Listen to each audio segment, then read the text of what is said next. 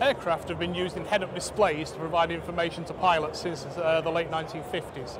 Uh, the, op the optic sits in front of the pilot's eyes and gives him speed, height and other information projected onto a glass lens that he can see through so it overlays the information on the outside world. But this hasn't been possible for helicopters. In recent years though, we've developed this system, QSight, which is designed to give the same kind of information attached to an optic on the pilot's helmet so that regardless of where the helicopter pilot is looking, he has the correct information displayed in front of him. On this particular system, we have an optical head tracker that you can see here on the helmet, which allows the systems in the aircraft to know exactly where the pilot is looking. Hence, it will give him the correct symbology or video information from the sensors for the direction in which he's looking, displayed directly in front of his eye. In some systems, where the sensor's on the outside of an aircraft, it will give him the direction of information for that sensor as he starts to look in that direction. This technology is now also starting to move into armoured vehicles and there's great interest in using this technology to allow operators inside an armoured vehicle to use cameras on the outside, thus allowing them to actually look effectively through the armour at the outside world while remaining safe inside the vehicle. The next evolution of this uh, technology from QSight is the Q Warrior. This is a prototype Q Warrior system that allows the same kind of display information to be sent to a soldier operating on the ground. It's aimed very much at platoon commanders, forward air controllers, special forces, the kind of people who will benefit from line of sight information being delivered constantly as they're carrying out an operation. The Q Warrior is a full colour display that allows symbols that would normally be sent over the battlefield network and displayed on a screen for, say, red force and blue force tracking to be displayed as red and blue, conformally overlaid over the object that the soldier is looking at.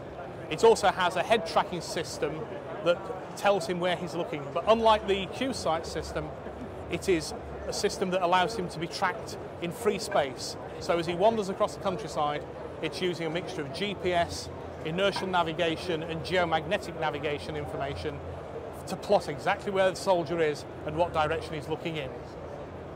Soldiers in the battlefield are increasingly carrying more and more electronics. To get the electronics to work reliably during a mission, they will also be carrying spare batteries, and they often have to share spare batteries between soldiers for different mission equipment as well, in case somebody is injured. This means that soldiers are carrying a large weight of batteries for an extended time on a patrol, the challenge we were given was to reduce the, num the number of batteries and the weight of batteries that a soldier was carrying. To do this, we developed a broadsword spine system which uses an e-textile, a conductive fabric, that shares power and data through this system without using wires, but without being wireless, so it can't be jammed or detected by other soldiers. It shares power from a central battery source, which could be on the belt or built into the harness, through the textile that is buried inside here to various connection points. On this system, we have a standard Android phone acting as the main computer, plugged into this contact point, sharing power and data through the structure of the uh, skeleton order webbing to a camera, a mobile phone and a battery.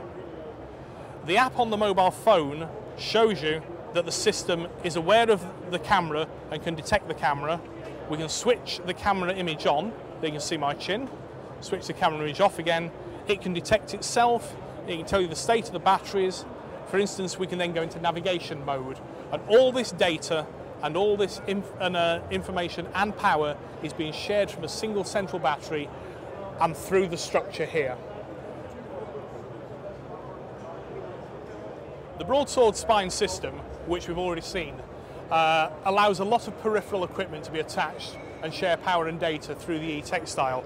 On this installation here, instead of having a skeleton order webbing, we have a body armour system that still has the e-textile and the hub sharing power and data, as can be seen by the uh, phone here. But it also has an induction charging system built in. And what this means is, when the soldier sits down in the seat, there's an induction coil in the seat and an induction coil in the back of the body armour. This immediately transfers power from the vehicle system to his broadsword spine system, which recharges the batteries while he's waiting there.